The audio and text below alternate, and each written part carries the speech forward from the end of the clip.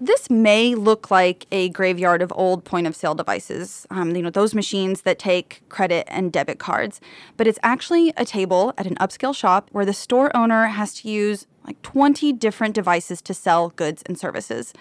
They change depending on the customer's bank or the shop's internet connectivity. Why don't we have the same issue in the United States? Well, because our electronic payment system is interoperable. Electronic payments are supposed to be safer, faster, cheaper, more transparent, just all around better. But this image really brings to life the massive challenge that businesses and individuals face trying to navigate electronic payments in places that haven't fully developed these interoperable systems. Electronic payments need to work for everyone, or they will likely to struggle to have any real impact.